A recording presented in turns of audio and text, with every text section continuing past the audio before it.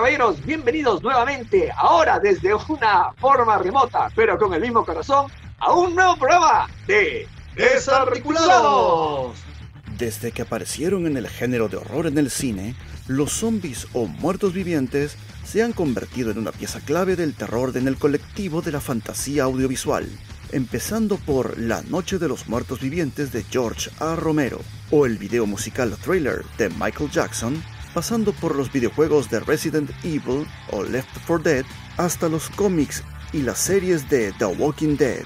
Los zombies tienen su lugar entre los coleccionables y los coleccionistas, pues varias marcas han cubierto el mercado de las figuras con los muertos andantes. Es notorio que ahora los zombies son todo un subgénero de culto en la cultura de las figuras de colección y acción el extraordinario, genial, el ya, ya, la, Biblia sapiente de, la, de las figuras de acción Bruno Leca ha preparado su top 5. ¿Cuál es el primero, Bruno? Bueno, el primero vendría a ser el zombie militar o soldado zombie de la colección de palizades de Resident Evil o Biohazard, como le llamaban en Japón, ¿no? Esta figura en particular es del 2001 Recuerda de que la, colección empieza porque los primeros videojuegos fueron muy populares. Entonces salió una colección de 7 pulgadas eh, que era más o menos grandecita. Eh, debe haber tenido más unas, unas 12 figuras de repente por ahí, por lo menos casi una docena de figuras. Y las figuras, aunque, aunque tenían bastante articulación, no eran tan posables como uno esperaría, ¿no? ¿Y esto salía en la, este salía en la película, en el videojuego? ¿Cuál es la historia? Estos son más que nada basados en el videojuego. Si te das cuenta, este de acá en particular, a pesar de que hay varios zombies en, la, en, el videojuego, eligieron este soldado en particular para poder hacerlo figura. También hay un policía, también hay un este, guardia de seguridad, hay un, hay un militar pero de desierto, ¿no? pero este de acá es el primero que salió, el militar verde.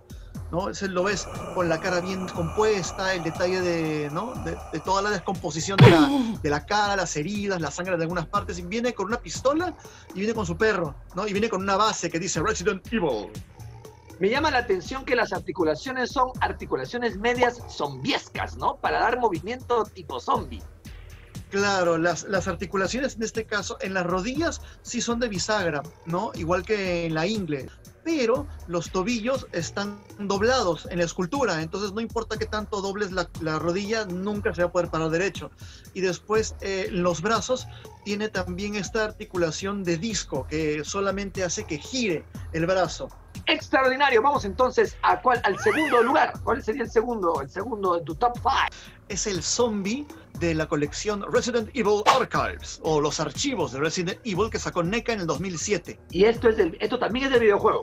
Sí, este está basado en el videojuego totalmente. Ahora, este zombie en realidad es una reedición de otro zombie que salió anteriormente de Resident Evil 2 o 3, ya no me acuerdo bien, pero bueno, es que en realidad no conozco tanto el videojuego porque yo nunca juego videojuegos de zombies porque me vuelven loco, no, no, yo, a mí me aterra jugar los videojuegos de zombies. Entonces yo solamente sé que el videojuego es lo máximo porque veo cómo lo juegan, pero yo jamás lo he jugado. Pero este zombie, este, como te digo, es una reedición de este otro zombie que se llama el Crimson Zombie, que es un zombie especial que tenía uñas largas y que era todo rojo, que venía con un terno, venía con una mirada bien extraña blanca, y era bien bacán. Pero después lo reeditaron para los archivos de Resident Evil y NECA lo volvió a sacar en el 2007, ¿ya? En esta ocasión lo sacaron mejor, le, le reesculpieron los brazos y le hicieron eh, todo un acabado de más putrefacción, no tan fresco y no tan sangriento. Ahora, otra de las cosas más chéveres de este zombie es que se le pueden sacar los brazos. Es lo máximo. Los brazos se le pueden sacar como, como que le estás haciendo daño en el videojuego a veces en el videojuego, cuando tú le disparas a un zombie, a veces se hace pedazos. Eh, le quitas el brazo, le arrancas la pierna, se cae en el suelo. En este caso, esta figura no se distingue tanto por su articulación, sino por su escultura y por las posibilidades como figura, ¿no? Bien, vamos entonces al tercer lugar. ¿Cuál es el tercero? Bueno, en el número 3 tenemos a Earl de la colección El ataque de los muertos vivientes. Es básicamente una colección que solamente sacó eh, tres zombies y los reeditaron eh, como dos, tres veces, sacando ediciones especiales, ediciones raras, ¿no? Pero las dos variantes principales, las dos variantes regulares de estas figuras, es una versión caucásica y una versión afroamericana, ¿no? Hay otra versión que es más rara, que es que brilla en la oscuridad, ¿no? Estas, estas figuras son súper articuladas, ¿ya? Pero en este caso, Earl tiene más articulaciones de lo normal, tiene como, tiene como 18, 20 puntos de articulación, ¿ya? Y lo más bacán es que abre la boca, puede abrir la boca y tiene la panza abierta y se le pueden sacar las vísceras para que se pueda arrastrar mientras él camina. ¿Y se llama Earl por el poema en particular? No, básicamente les pusieron nombre a los tres personajes que sacaron como zombies. La, la, hay una zombie mujer que está arrodillada, que tiene pelito de verdad y que no es muy articulada. Ella se llama Helen, ya con H, Helen. Y el otro, que es el, el delgado, el flaquito, que se llama Jake. También son articulados, pero no son tan articulados como este gordito, Earl. Y ahora, en el número 2 tenemos a... Ah, el Solomon Grundy de DC Collectibles de Arkham. Esa figura es realmente brutal porque es como dicen los gringos, es massive, ¿no? Sí. Es grandiosa, es pesada, es, es, es como para, para- si, alguien te va a robar, le lanzas a Salomón Grundy y ahí queda. Es peor que un ladrillo, que un King Kong pirámide. O sea, te puede servir para trancar tu puerta, para asustar a tu perro. O sea, es un Claro. mega, mega zombie. Esa figura mide como 12 pulgadas, ya es, es enorme, mide, mide poco más de 12 pulgadas. Es una figura bastante pesada, tiene bastantes articulaciones, tiene muy buen detalle y está hecha en base a la escala de 7 pulgadas, porque las figuras de Batman Arkham son de 7 pulgadas en su mayoría.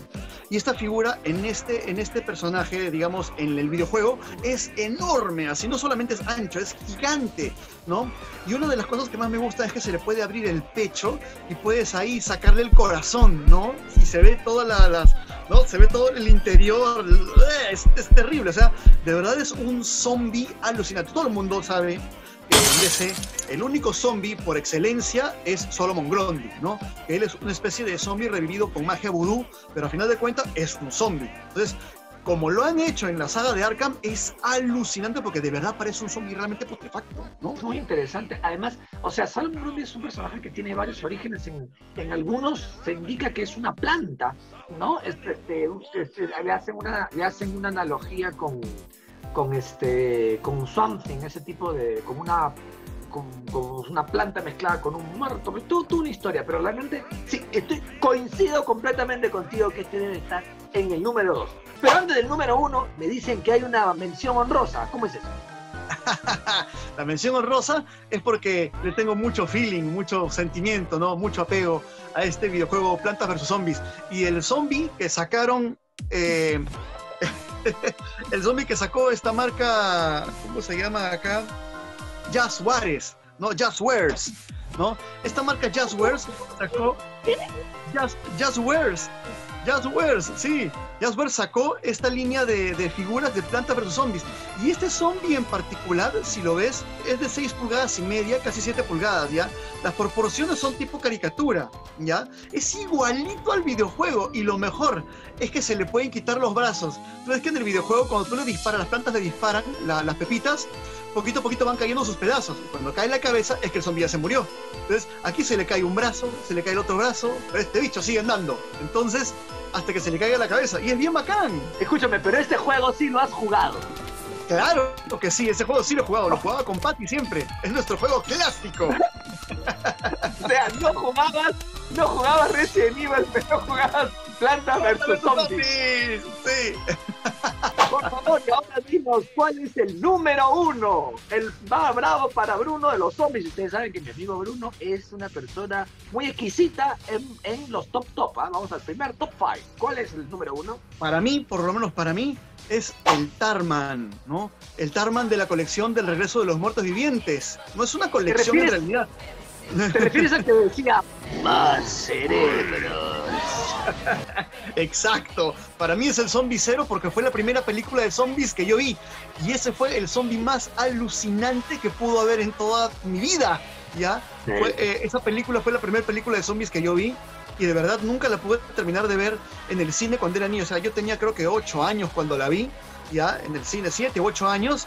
y no era para niños, ya ni siquiera, ni siquiera sé cómo me metí al cine, pero era, pude meterme algunas veces, porque la primera vez apenas apareció el zombie yo salí corriendo del cine, pero lo interesante es que este zombie es un zombie particular, ya, porque para hacerlo, el director Dan O'Manon no puso a un doble para que se pusiera todo el traje, el maquillaje y todas esas vainas escurriendo. Puso a un actor y este actor eh, eh, fue elegido no solamente porque era actor, sino porque también era recontra delgado y alto. Entonces, todo el traje que le pusieron más a los animatronics de la cara se veían alucinantes y mucho del trabajo del terror que nos causa está hecho por el actor más que por el maquillaje. Es impresionante. Y eso también este, nos, muestra de, de, el ingenio de la época, porque no solamente hicieron el típico zombie que era lento y que, y que mordía, sino que hablaban, a pesar de lo putrefacto que estaban, este, y pensaba, porque te das cuenta también, o sea, para, para poder este, abrir una puerta que estaba cerrada por lo débil que era, este hombre, este zombie utiliza una cadena con gancho y una polea para poder sacar. O sea, era un zombie recontra no puedes escapar de ellos. Y esta figura en especial está muy bien esculpida, aunque tiene poca articulación, la escultura es tan pero tan buena que de verdad, de verdad no lo necesita. Viene con una base del almacén de suministros médicos donde lo encuentran y viene también con un fondito pequeño donde está la tapa, donde está él antes de que se convirtiera en toda esa cosa nauseabunda que ves ahí. Y ahora, esta figura le tengo mucho, mucho cariño porque es una figura que no solamente está bien hecha, sino se demoró mucho tiempo en salir desde que la anunciaron. Porque la anunciaron más o menos 2007, 2008 y se demoró hasta el 2009, 2010 de salirse. El Tarman realmente marca, una, marca el terror de una generación. Y, pero ahora que tú me has o sea, porque yo también me acuerdo que lo vi en el cine, y además me acuerdo que llegué a ver esta película tarde y solamente había un sitio adelante en primera fila, se me vino todo el gato, fue horroroso, pero lo que más me acuerdo era más cerebro. Y a mí después de eso, ya, tanto terror me dio, pero ahora que tú lo dices, que es cierto que no solamente era un zombie que hablaba, sino que pensaba. Creo que estoy completamente de acuerdo que ese es el top número uno. Extraordinario siempre tu conocimiento, querido amigo, y espero que les haya gustado a todos este programa por Halloween con el top 5 de los zombies. Y esto ha sido un programa más en Desarticulados. Si te gustó el video, te invito a que te suscribas a nuestro canal y que apretes la campanita para pasarte la voz cada vez que tengamos alguna novedad. Y si quieres ver algo más, checa estos videos que están bien simpáticos. ¿eh?